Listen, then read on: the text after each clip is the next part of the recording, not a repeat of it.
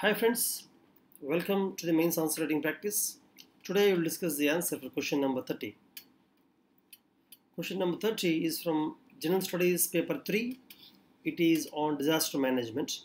In UPSC from last few years, they are asking questions specifically on disaster management guidelines released by NDMA, particularly in 2008. So this question is regarding the floods. As you can see the question, it is saying that actually it has given a statement. It has given a statement from the NDMA guidelines the mission statement. Actually what NDMA does is for every disaster made by drought floods earthquake landslide whatever it will release certain guidelines to manage the disaster. And in those guidelines it will give a mission statement. So the first statement is actually the mission statement of NDMA to manage the floods and then the question is asked. The question is mention the flood prevention, preparedness and mitigation measures. See here carefully in the NDMA guidelines the prevention, preparedness and mitigation are not given separately. They have combined all the three. They means if you read the NDMA guidelines it will be mentioned as prevention, preparedness and mitigation measures and they'll give common measures for them. So you do not try to separate them you don't try to write prevention measures separately, preparedness separately, mitigation separately. Don't try to do that. It is difficult because NDMA did not give it like that. Then this is what you have to write. So how do you start this kind of questions? My suggestion is for this kind of questions, uh, the introduction I would suggest is you just write one line about what is NDMA and write about the floods. If it is regarding the drought, you write two lines about the drought in India. And then you come to the actual question. No need to explain the mission statement again. No need to explain it. So in introduction you can just say that national disaster management authority is the apex body in india to formulate the policy and guidelines to, to formulate the policy and guidelines for management of any disaster. When it comes to the flood you briefly describe the effect of floods on india i mean the, the gravity of the situation, the gravity of the floods in India. You can simply draw India map if you want quickly.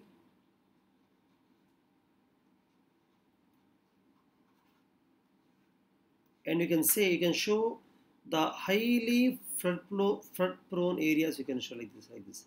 And Brahmaputra river, know, this one, the Koshi river, the Damodar, this river. And you know, the Mahanadi, Godavari, Krishna, Kaveri, some areas Narmada. You can show like this. So you can say this is flood prone zones of India. You can draw a map. Or you can say area wise 12% of India which is almost equal to 40 million hectares of India uh, is categorized as a flood prone zone. Just to mention that one line, one line about NDMA. And if you want to write historical aspect, you can simply say that traditionally in India, the people of India, traditionally they follow certain methods to mitigate the floods. However, the population of India has increased by leaps and bounds in the last 70 years and along the flood prone zones, the infrastructure has increased. The settlements have increased. Hence, the disaster has also increased. Hence, NDMA has to formulate a policy to regulate, to manage the flood and to reduce the disaster. So, you can write like that if you want. Otherwise, these two are enough in introduction. Now, as I told you earlier, you don't try to explain what is preparedness, what is mitigation, what is prevention. Don't try to explain all those things because there is no enough space and time.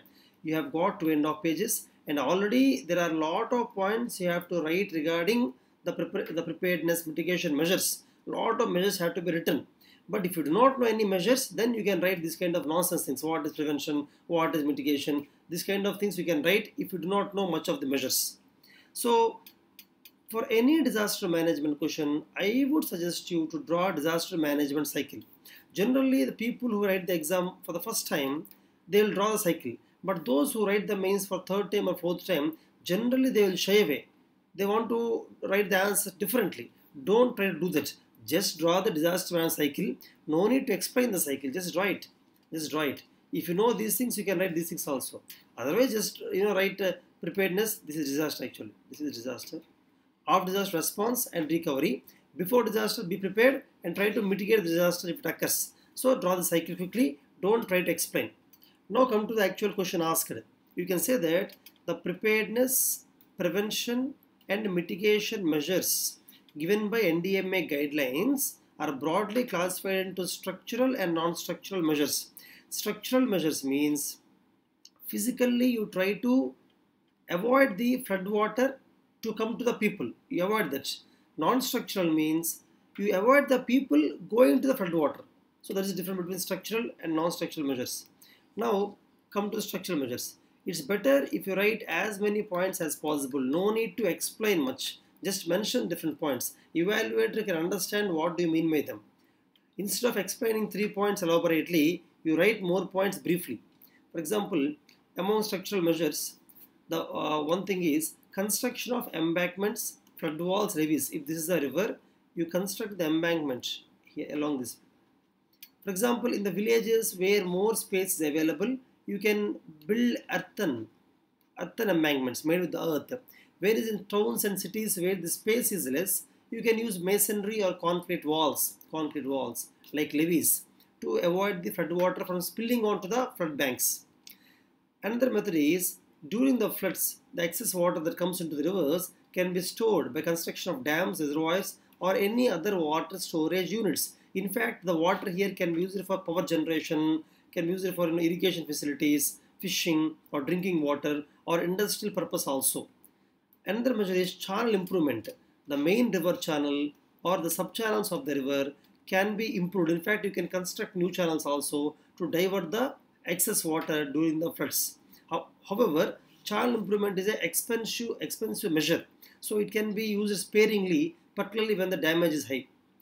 Another measure is desiltation and dredging of the river. In the river, what happens is particularly a few places. For example, the place where the water comes from the hills to the plains, lot of silt is accumulated.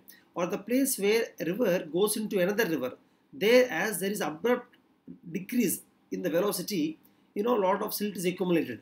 Or near the convex bends, in the bends also silt is accumulated. In these kind of places, you have to do dredging or remove the silt so that the water capacity of the river will increase. Another important structural measure is drainage improvement.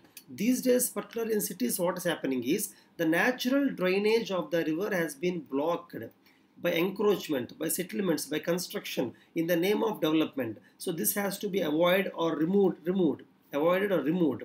Or you improve the drainage by construction of more drainage channels. Another thing is similar to drainage improvement, diversion of floodwater. You try to identify where most of the floodwater will accumulate, particularly in cities. Try to divert it by construction of artificial lakes, artificial ponds, or try to divert the water from one place of river, again join it to another place of river where the floodwater is lesser. Another thing is catchment area can be treated. Actually catchment area means this is a river. During the rainfall, the water collected in the catchment area will come to the river.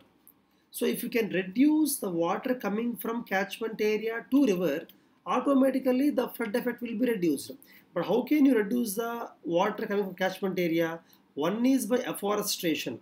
By afforestation, you can make the water stay there, absorbed by the ground. Other thing is check dams. By construction of check dams. By construction of check dams in the catchment area, the water flow can be reduced because the water will sink into the ground rather than going into the river. Or even construction of artificial basins basins or detention basins in the you know the catchment area. This is called overall all these measures are called as catchment area treatment.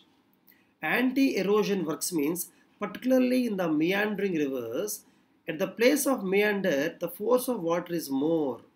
Because of that the erosion will occur here and it will the, the, the river water will enter into the nearby villages or cities so this resistance has to be reduced by diverting the water or some you know geotechnical works can be done.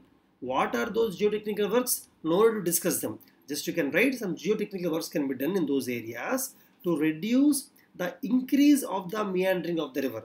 They are called as anti-erosional works. See, as the question is asking about flood, flood, they did not tell about river flood or sea flood. Sea flood means during the storm surges, even in the coastal areas, for example, along the coastal areas of India, during cyclone or storm surges, the coastal flooding can happen. Along with the river flooding, write at least one or two points on the coastal flooding. So to reduce the coastal flooding, you have to construct sea wall. Coastal protection walls called groins can be constructed. This is one of the structural measures. Then one more thing is most along the rivers, along the lakes, the roadways, railway embankments are constructed. If their design is poor, if the embankment design is poor, the effect of flood will be more along those railway or uh, the, the road lane. Hence, uh, it has to be designed properly. Also remember, you should write one line that all these structural measures, the most important thing is regular inspection and you know uh, regular maintenance.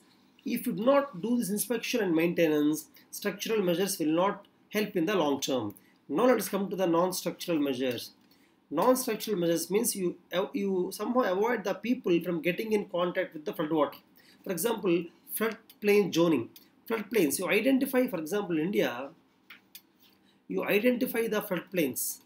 Identify the floodplains. In those plains, whichever areas you think are more prone to floods, you avoid construction of any heavy infrastructure or settlements there. If needed, you can develop agriculture there, particularly agriculturally those crops which requires excess of water. That is called floodplain zoning. Just like earthquake planning, planning, floodplains shall be planned during the construction. Flood proofing. Flood proofing means, for example, there will be a flood level. When flood occurs, there will be a general level. In the last 100 years, you can measure, find a flood level you construct the most important structures above the flood level. For example, the drinking water pipelines or the basic electric cables should be constructed above the flood level. Even during the flood times, uh, there should be some common structures in the village where people can come. They should be constructed at a higher level, at a, at a higher elevation, at higher elevation, at a higher altitude, so that during the flood, the water does not submerge those structures.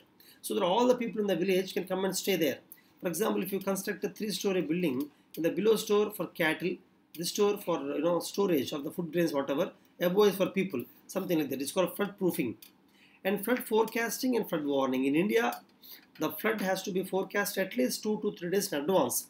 Based on the amount of rainfall, you should forecast the flood and warn the people who are at the risk of flooding. In that way, you can avoid the people to get in contact with the flood water. Also, integrated water resource management is a very broad topic. Just you can just mention in just mention ID, IW, you know, RM, integrated water resource management, which will look into you know not only flood water but also the management of water as a whole in the city or in the village, in the India as a whole for agriculture, for irrigation, for power development, whatever. This, if you can do integrated water resource management properly, automatically the effect of the flood on the people of India will be reduced. Also in the preparedness, you can write about the medical preparedness, how you should train in the flood prone areas. You have to train the people around uh, in the in, in the medical treatment so that they can act as the first responders. You know, medical stores in those areas should be particularly equipped in, in you know helping the patients, particularly during the flood flood times, and how to evacuate the patients. So this is called medical preparedness. So in this way, you can mention the preparedness, mitigation, and prevention strategy measures. This kind of questions how to conclude. You can conclude my suggestion is in the conclusion just write four to five lines but try to write all the terms of disaster management that you know.